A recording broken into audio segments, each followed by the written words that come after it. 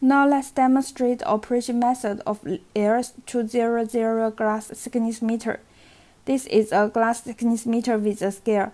The scale in the upper low indicates the glass thickness. The scale on the bottom low indicates the air layer thickness.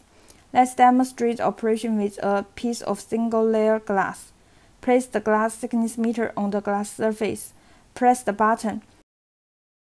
We can see two laser beams.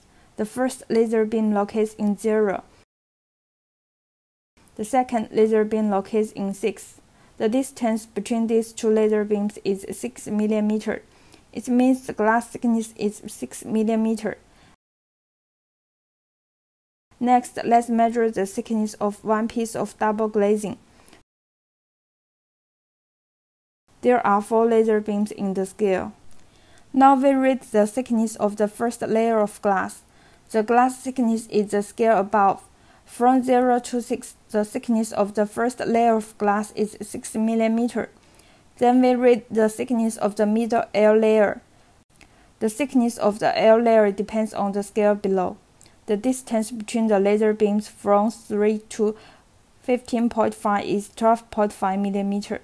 12.5 mm is the thickness of the middle air layer. From 32 to 38, the distance is also 6 mm.